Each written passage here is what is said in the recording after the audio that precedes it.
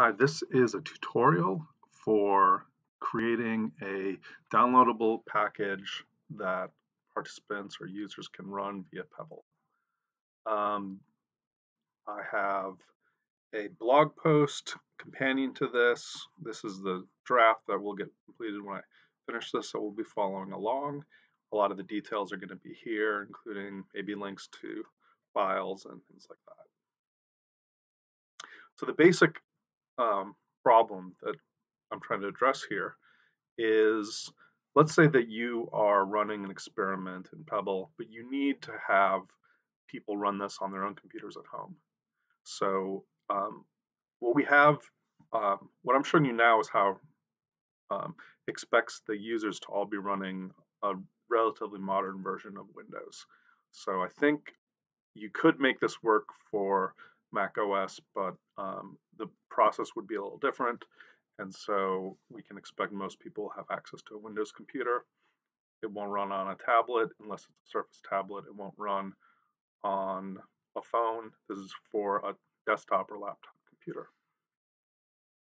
Um, this is a first in a series of tutorials. But the later ones will show you how to have the software automatically upload its data to a website that you can have access to or a server you could host. Um, but this expects that um, the users will download a zip zip folder. They'll unzip it.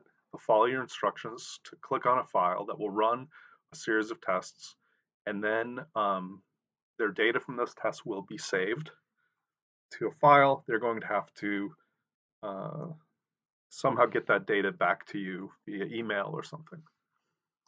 So um, the first thing to do is to actually download uh, download the standalone PEBL um, that you're going to use. So what I'm going to show you will only work for version 2.1.4 for the portable version of PEBL. So not the one that you installed, but only the portable version. Um, technically, you could make this work for the installed, but then the user would have to install it and do a bunch of other stuff. The idea here is that they can download this, um, save it on their desktop, extract it on their desktop, navigate there and click a button and run it without having to install it, without needing um, any uh, access to installing it. So you need to work within this PEBL portable. So if you go to the PEBL website um, at pebl.sourceforge.net, um, you can go to the project page. So let me show you. Here's the main uh, website. Go to the SourceForge project site. Go to Files, PEBL 2.1, and download 2.1.4. Um, so that will create, that will download to your download directory that you can then move to somewhere like your desktop, the zip folder. Um, I'm going to extract this uh, onto my desktop and it'll take a couple minutes. Um, there's a couple thousand files, um, but uh, it'll take a little while. I think there's probably some scanning that's going on for me, but um, and it's actually going to appear right here when it's done. I'm going to move this over here so we can see it better. So um, this is going to be the folder that you create what you want, and then you eventually rename it, um, rezip it, and send it to your users. So it doesn't have to be on your desktop. It can really be anywhere, but put it somewhere convenient. Um, and actually, it creates sort of a double, triple nested um, set of folders. You can go, in this case, all the way to um, PEBL 2.1.4, uh, drag it out. This is now, you can delete this, you can work directly from here. So normally, this is one way to run PEBL on a computer that you don't have the ability to install or it's just inconvenient to, to install on. You run it here and you hit the run pebble.bat. Now, sometimes depending on when you download it, there's um, like there's a Windows Defender which says, "Are you sure you want to run this?" and you have to assert that you really do want to run it. Um, what I'm going to show you is really um, some tricks that are only accessible to donors. If you need this password in order to use it, um, for for normal use of PEBL, you don't need the password. I'm gonna, but um, for doing this, um, the function of creating a custom launcher requires you to have a password. So I'm gonna um, enter it here. Just a second.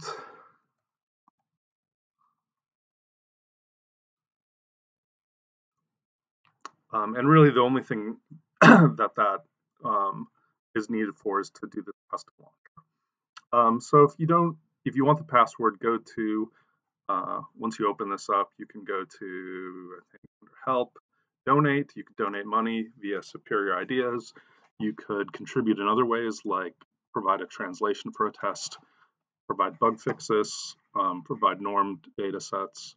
So, or just ask me really nicely, and I'm and um,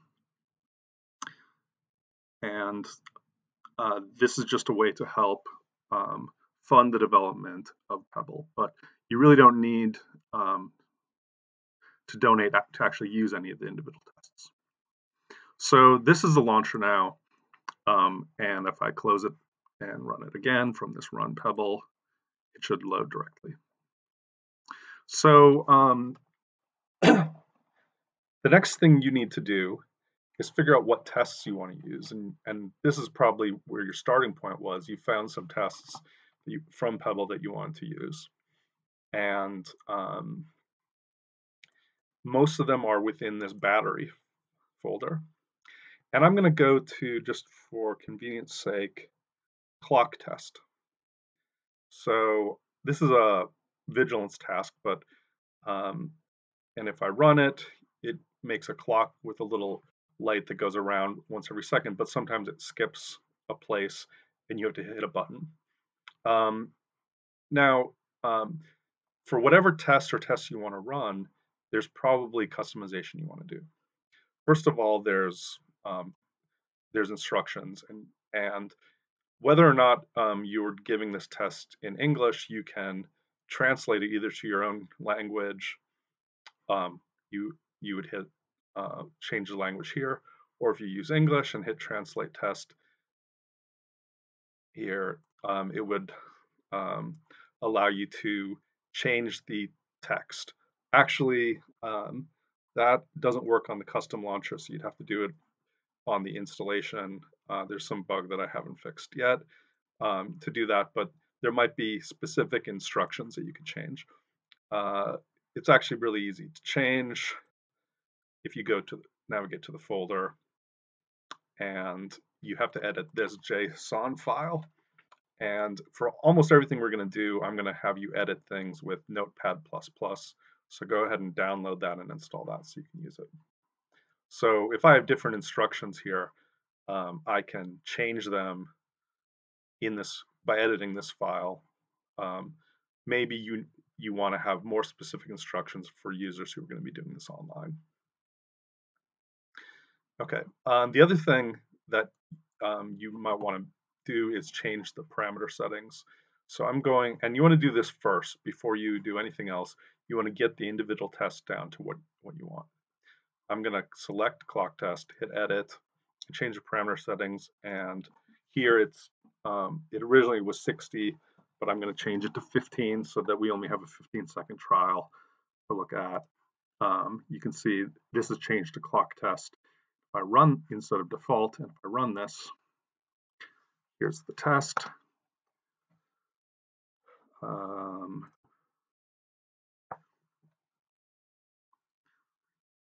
and I'm hitting a button every time it skips a dot, and it should go on for 15 of these. Okay. This is the basic results. Now, it has saved this in um, within here in this data folder. According to the subject code, it has two files, one which is the actual, that report that was just at the end, time and trials and things like that. But also there's a trial by trial um, record in a CSV that shows response time and all the details of the test. And almost every PEBL test has um, a data file, and most of them are, most of them have a report file that does some summarization. You're going to have to figure out for each test you have what these files are going to be, what they're going to be called, and they're always going to be within the battery, the test, and within data, so that you can tell your participants um, to how to find these and how to send them back to you. Okay, so now I have a cust I've customized this maybe by changing the instructions and changing the parameters. So the next thing I want to do is um, make um, a experiment chain. And I can select tasks here and add it, either append or insert, which puts it before the cursor, to an, a chain of experiments. But you want to make sure you select the right the parameter settings you you have. So um, that that added the default one. This will add the custom one. And if you click on here, you can see it's using this one's using the clock test parameter set. This one's using the default. So I want to delete this. It's selected so I can hit uh, delete step, and I'll save this. Now, if you're running an online experiment, um, sometimes you want additional instructions of some sort. Maybe you have um, an informed consent statement. So um, you can add instructions, filler tasks, whatever, by um, by changing this by adding a new task. And within this download, I have this uh, informed consent.pebble, which is a very simple instruction task. And all this will do, um, it does has a possibility of a couple different types of instructions. Here's text I can put in, and maybe you have informed consent that was um, approved by your IRB, and you could put text here. You might need that in a couple different windows. Um, so you can have okay, okay, okay. Um, you might have more detailed instructions that you want to have as an image. So um, just as a simple way, I, have a way of you can make a, an image, a screenshot of a maybe a PowerPoint slide, and use that instead of text. You can't mix text and and the image, so you have to put all the text in the image. Um, you could also maybe you have an online version of this or part of this that you want people to go to a Google um, or SurveyMonkey survey and um, complete a set of surveys. You can add a link that you follow to go to that survey using the launch file function. Um, and you can add, you know, as many of these message boxes as you want, just with different text in it. So this would be um, this experiment would involve maybe this clock test plus this informed consent. We can test the informed consent. You can see here's an image. Here is, um, it actually, the next thing sent me to this web, sent me to the PEBL website. And then I've got the all work and no play text. And um, if you agree to this, hit OK to continue. Otherwise, close Windows and do not continue. So you can OK. So this would be a way of inserting sort of instructions if you have multiple filler instructions, you could have multiple versions of this that you add to the chain. So let's add a let's add a copy of this to the beginning of the chain. And just to show how you could do it, you could add it to the end of the chain as well. So first I'm going to do the instructions, then I'm going to do the clock test. Then I'm going to do actually the same instructions again. And I could run another test. This is a this just gives me information about the version of PEBL. And so I'll add that to the chain too.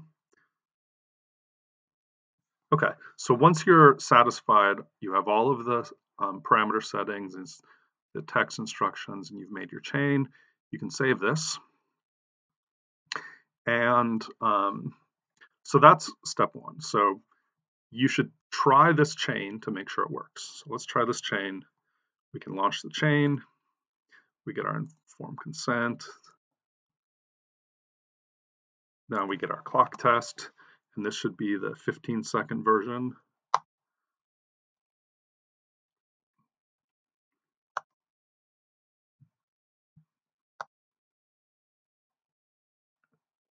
See. All right. And then I get the um, instructions again, then I get the version. Okay, so it ran through all of those.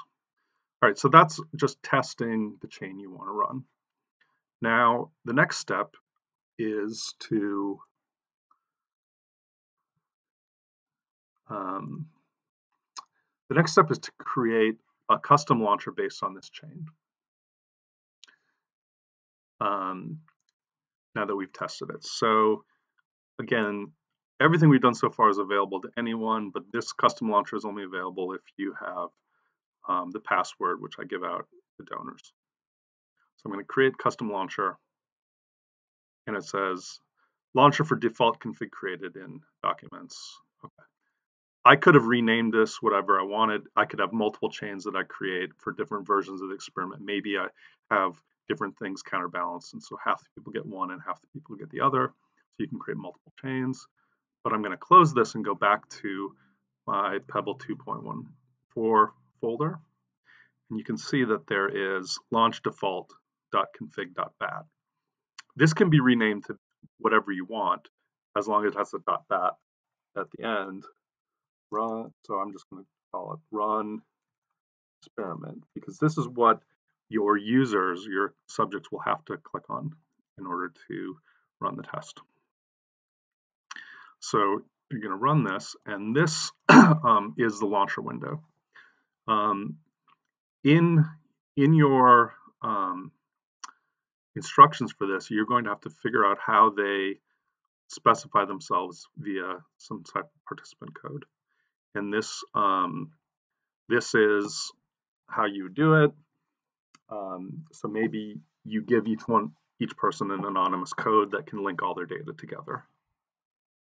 So it actually has some um, automatic tracker to um, increment every time it's used.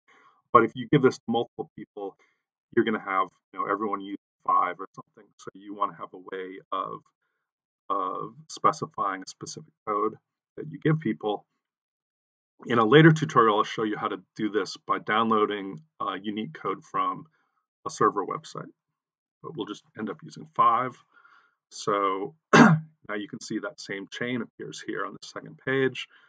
Um, and all they need to do is hit the start button and it will run through all of them. So we go here, now we get this initial instructions. It opened up a web page on my other screen. Now it does the clock test. Um, and here you can see, because I already used five once, it's going to be asking, should I choose new code or add session? You shouldn't have a problem with this if you use unique subject codes every time. But we'll go through the 15 second test.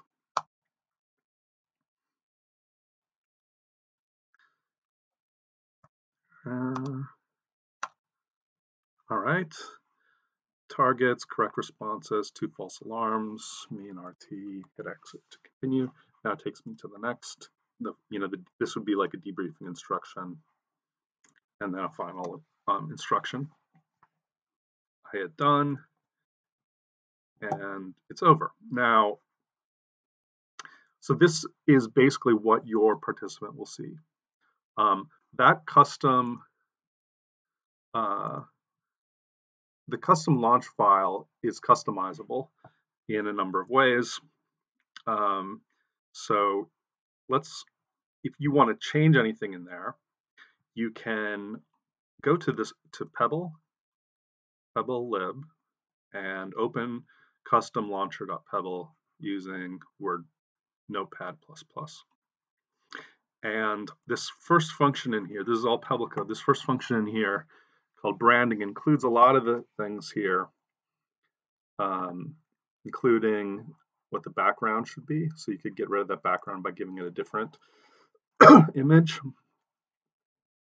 Um, but you might not want to say, um, have this PEBL project. You say, you can say, you know, I'm at Michigan Technological University Psychology Lab. Um, and you don't have to, you can change these to personality experiment launcher. We can get rid of stuff like this. You can change colors. Um, I can make this main window, this main button orange. Oh, it understands a lot of different colors, names, and you could tweak different font sizes and things like that. So let me see what happens. Hopefully this will work. I go back here and try running the experiment again. So now let's change some of the colors. I'll change this participant six, everything's orange. Um, now you see personality experiment launcher, Michigan Tech University Psych Lab. I could change the background to some other image if you wanted. You just have to save that image within that. Um, you save that image within that folder, PEBL, PEBL lib. You save an image in here, um, and it will use that one instead.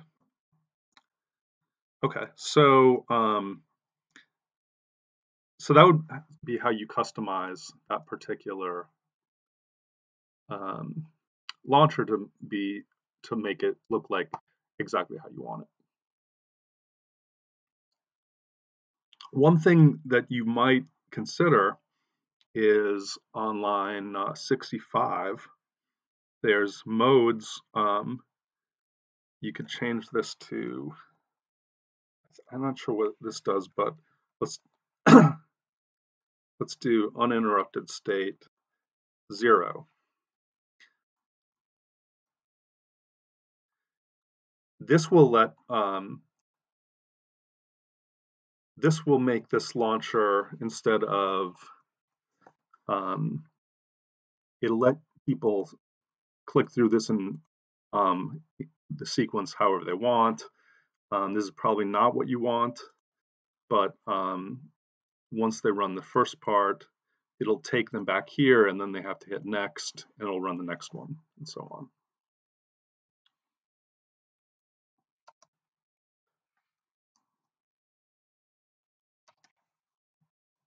Let me try to close this before we get to the end. So this is something you, these are some of the things you could play with. Um, I'm going to set that back to one. And I think maybe subject mode is another option you can try.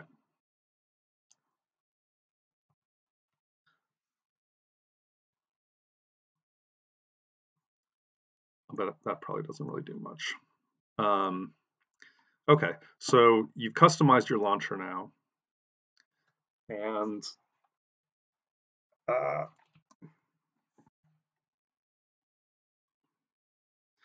So um, now you're almost ready to create something that your users could download and use. Um, but what you might want to do ne next is clean up this whole um, folder and directory to make it simpler and easier to navigate. So first thing I'm going to do is rename this from PEBL 2.14. I'm going to name it experiment. This is what your users are going to see.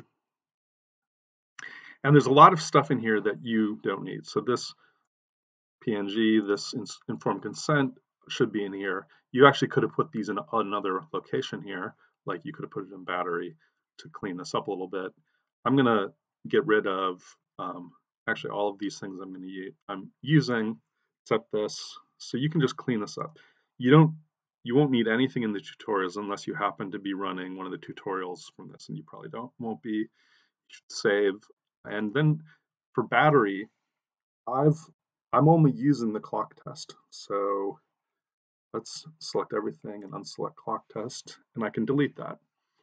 Um, so this will delete a lot of files, a lot of this the space, but it will also then make it a lot easier for your subjects to find the data that they're looking for. So when they're done, you, you're going to tell them, go to battery clock test data, go to your subject code and give me the file that's in there and email it to me or something like that.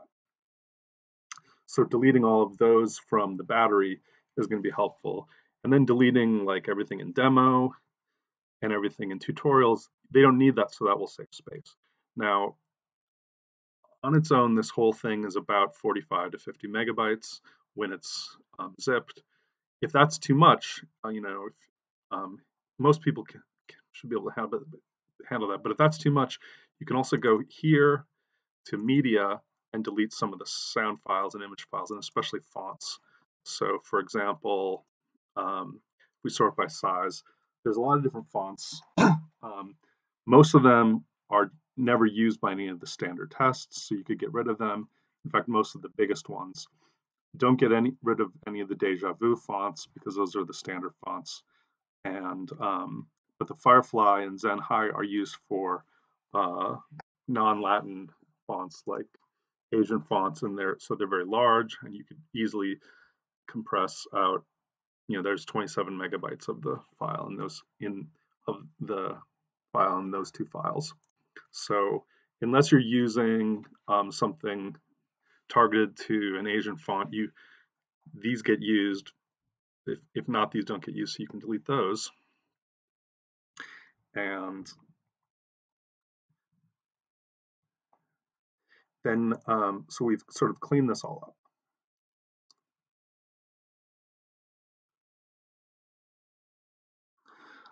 All right, so now um, we'll look at what this looks like. What's going to happen is your participants are going to download a zip file with this folder, and they'll see this, and so you should, um, the last thing you can do is get rid of the run PebbleBat, which um, is what we used to create this, because you don't need that anymore.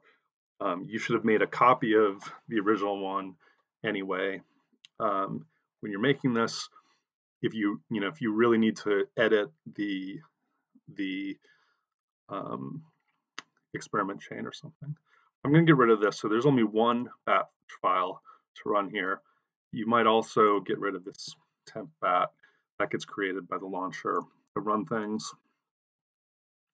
Um, and there you should be good to go. The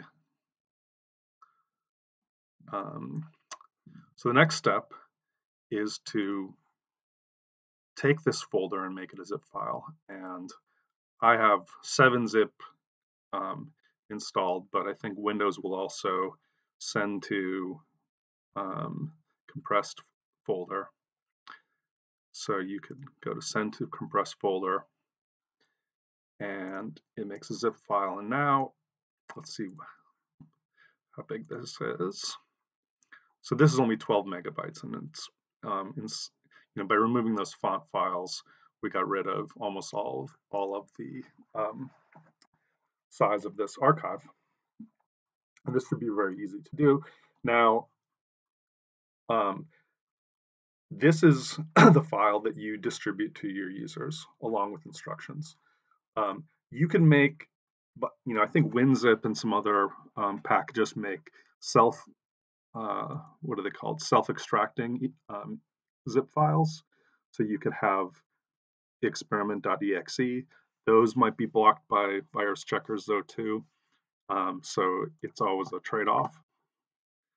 Um, there might be ways, I think I've done this before, had um, some way of taking a zip file and running a self-extracting file and then um, executing a batch file, a specified batch file, all, all as one. Um, you should I'm, I do not really know how to do that though, but um, this is what you're going to distribute to your users, along with instructions. So there's some instructions you should consider.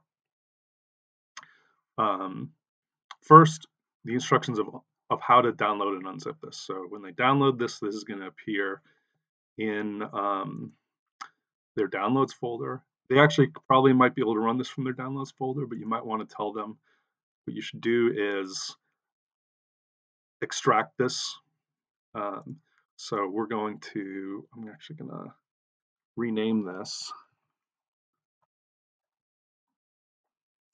And the instructions would be something like you download this to your desktop, right click and hit extract all. And so it's going to extract. This time it was a lot faster because there wasn't as many folders. Um, and the, the one thing you have to worry about is if I don't extract all, this was the, this is the new one. Um, sometimes you can, you can, if you double click on this, you can navigate here and it looks, a lot of people don't recognize that this is just navigating the zip file. So I'm not, I don't think this will work. If I run this, then it'll say, well, extract all or run, and it might only extract this file. I don't think it's going to work if I do this. And so, um, you know, someone might think that this is the way to do it. They'll double click on here and they'll hit run and it won't work. And then they'll say it's not working. And so for, for so, so Windows is being too helpful here. Um, and what you really want to make sure they do is extract this to a folder, open this up, double click the run experiment, and then enter their participant code. This doesn't even have to be a number. And then hit start and it'll take them through the whole task. You may um, you, your instructions might include a video, just like I'm doing here. Um, definitely codes for um, what they should enter, how they can find and send the data back, who to contact for help, links to other online surveys you might want to take if you don't want to run it through one of these. Um, I should note that you can, um, when this gets run by the launcher, that it will that that subject code it uses will be available in here from default gSubNum um, uh, value, we can do just to show that I'm going to add this to that text. And if I run this again,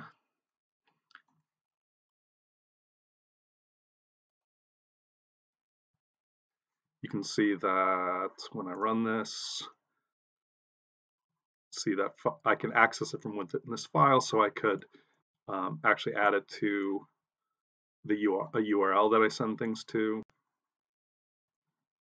um, or other data I saved from these other files. So you could use it within um, instructions or informed consent as well. So you know you might have a survey file where you want to pass a participant code on with it, and you could add that with the right um, arguments to this um, URL. So it would launch with the right uh, participant code. All right. So that, that is it for um, this tutorial on how to create a downloadable launcher that can be used by um, users to run a PEBL test on their own computer, but without installing in a fairly straightforward way. Um, and um, pay, stay tuned for additional tutorials where I show you how to um, use this in other ways, including um, having the having the script upload its data to a um, data archive automatically at the end of the test. Thank you.